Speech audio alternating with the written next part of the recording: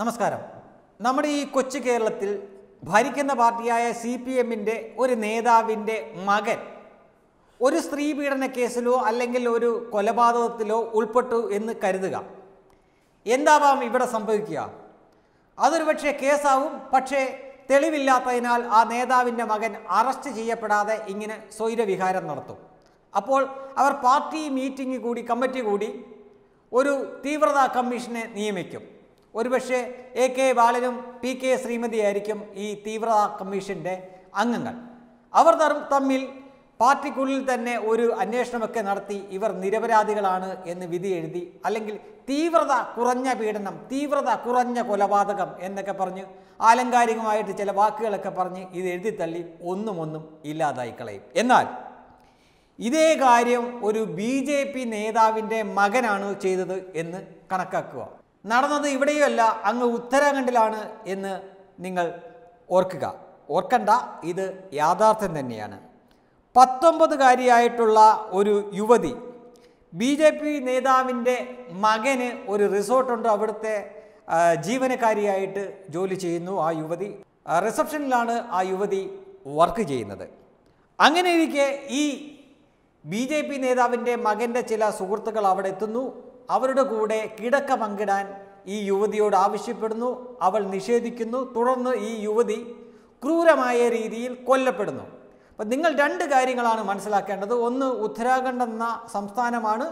അവിടെ ഭരിക്കുന്നത് B J P സർക്കാരാണ്. അവിടുത്തെ ബി ജെ പി നേതാവിന്റെ മകന്റെ റിസോർട്ടിലാണ് ഈ സംഭവം നടക്കുന്നത്. ബി ജെ പി നേതാവിന്റെ മകനാണ് ഈ കുറ്റവാളി അഥവാ കൊലപാതകി. അപ്പോൾ ഇതുവരെയുള്ള നടപ്പ് രീതി വെച്ചിട്ട് ഒരുപക്ഷെ ബി ജെ പി സർക്കാർ അവനെ രക്ഷിക്കാൻ ശ്രമിച്ചു കാണും എന്ന് നിങ്ങളിൽ ചിലരെങ്കിലും ഒരുപക്ഷെ ധരിച്ചേക്കാം. എന്നാൽ അങ്ങനെയല്ല. യഥാർത്ഥത്തിൽ നല്ല മാതൃക കാണിച്ചു കൊടുത്തത് അങ്ങ് ഉത്തർപ്രദേശിൽ നിന്നാണ് യോഗി ആദിത്യനാഥ്. അദ്ദേഹം മാസങ്ങൾക്ക് മുമ്പേ അത് ചെയ്തു കഴിഞ്ഞിരുന്നു. ഒരിക്കൽ അവിടുത്തെ യുവമോർച്ച നേതാവ് സ്ത്രീകൾക്ക് പേടി സ്വപ്നമായപ്പോൾ അവന്റെ അനധികൃതമായിട്ടുള്ള കെട്ടിടങ്ങളും വീടും ബുൾഡോസർ കൊണ്ട് തച്ച തകർത്തിട്ടാണ് യോഗി അവന് മറുപടി കൊടുത്തത്. സ്വന്തം പാർട്ടിയിലെ നേതാവായിരുന്നു. അതിനെ പിന്തുടർന്നുകൊണ്ട് യോഗിയെ മാതൃകയാക്കിക്കൊണ്ട് ഇപ്പോൾ ഉത്തരാഖണ്ഡിലെ മുഖ്യമന്ത്രി അതായത് ബി ജെ പി മുഖ്യമന്ത്രി പുഷ്കർ സിംഗ് ധാമി അദ്ദേഹം ഉത്തരവിടുകയുണ്ടായി. അവന്റെ വീട് മാത്രമല്ല അവന്റെ റിസോർട്ടും കൂടെ തച്ച് തകർത്ത് കളഞ്ഞേക്കാൻ. മാത്രമല്ല അവന്റെ പിതാവിനെ അടക്കമുള്ള അവനെയും അവന്റെ പിതാവിനെയും അടക്കം പാർട്ടിയിൽ നിന്ന് പുറത്താക്കുകയും ചെയ്തു. ഇനി ഇന്ത്യൻ നിയമത്തിന്റെ കീഴിൽ അവൻ ചെയ്ത തെറ്റുകൾക്ക് എന്താണോ അതിനുള്ള നടപടിക്രമങ്ങൾ അതെല്ലാം അവൻ നേരിടേണ്ടി വരും.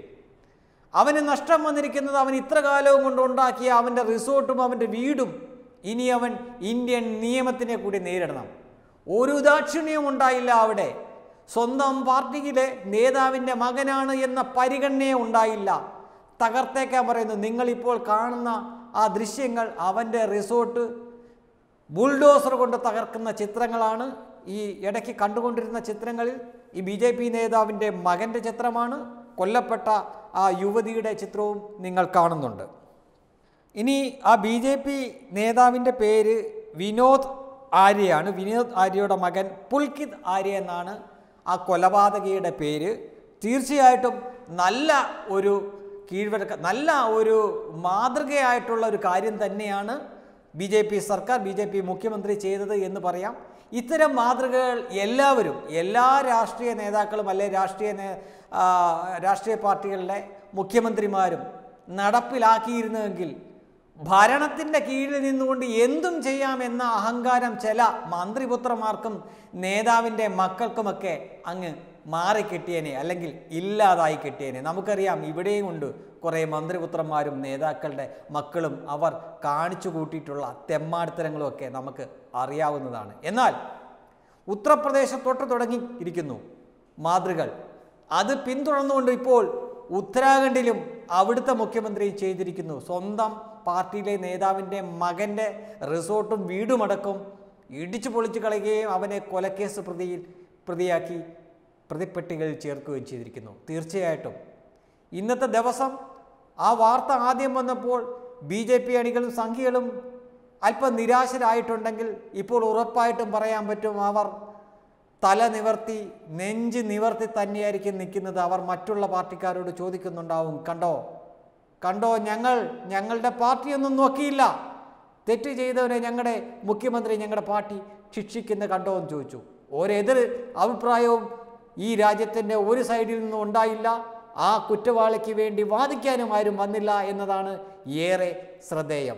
വെബ് ഡെസ്ക് തത്വമൈ ന്യൂസ്.